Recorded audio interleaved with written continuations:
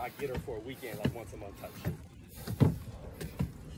That type of shit. So we were talking, and she was like, "Do you pay child support?"